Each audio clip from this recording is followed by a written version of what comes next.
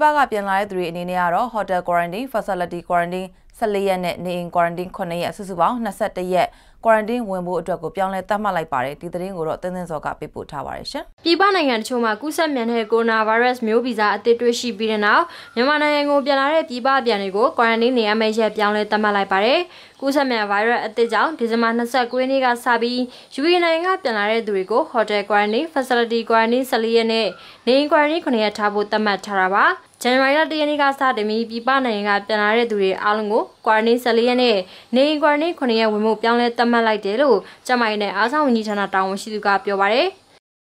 ဟုတ်ပါတယ်ဒီကဒီကဝင်လာတဲ့သူတွေ quarantine 14ရက်ထားမှာဖြစ်ပါတယ်ပြောမယ်ဆိုလို့ရှိရင်တော့ဒီ January 2021 January ကအချိန်စားတဲ့အချိန်ကစပြီးတော့ပြောမယ်ဆိုရင်ပုံမှန်ပါတယ်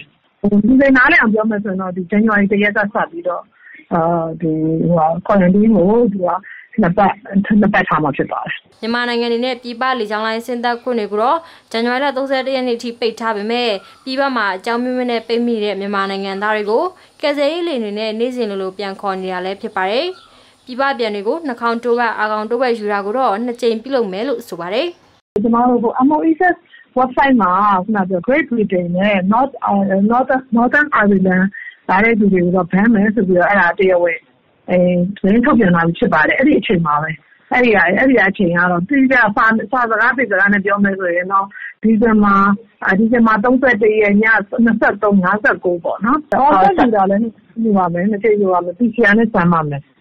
မြန်မာနိုင်ငံမှာကိုဗစ်ဒုတိယလှိုင်းကူးစက်မှုဟာအနည်းငယ်ကျဆင်းလာတဲ့အချိန်မှာပဲပြည်ပနိုင်ငံတချို့မှာကူးစက်မြန်ဗိုင်းရပ်အသစ်နဲ့ကူးစက်မှုတွေပြန်ဖြစ်လာနေတာကြောင့်တတိယလှိုင်းမဖြစ်စေဖို့တားဆီးနေတာဖြစ်ပါတယ်။အဲဒီပြင်ဗြိတိန်နဲ့မြောက်အယလန်နိုင်ငံမှာကိုရိုနာဗိုင်းရပ်စ်မျိုးကွဲအသစ်တွေ့ရှိနေရတာကြောင့်မြန်မာနိုင်ငံကိုဝင်ရောက်ခွင့်ပိတ်လိုက်တာကိုအစိုးရကဇန်နဝါရီလ2ရက်နေ့ကထုတ်ပြန်ထားပါတယ်။ကျွန်မကတော့တင်းစောပါ။